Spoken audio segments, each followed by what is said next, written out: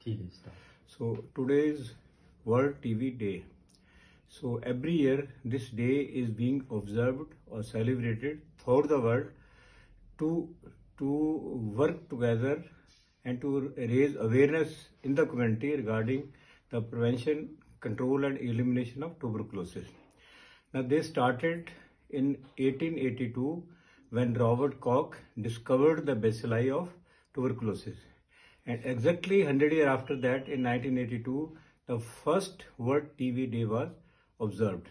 And this day is observed each year so that our community, our societies know the various aspects of this disease and, and help in preventing, controlling and eliminating this infection. So this year the theme is the clock is tickling.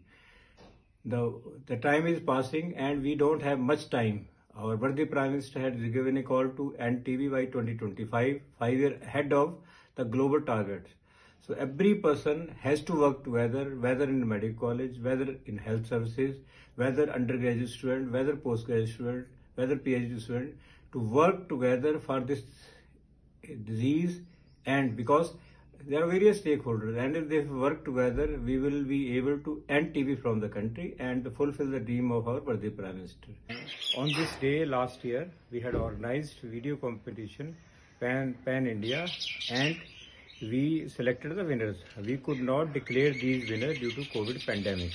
So this year we are declaring those winners. The first prize goes to Dr.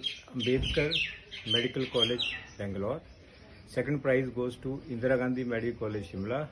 And the third prize goes to PDU Medical College, Rajkot.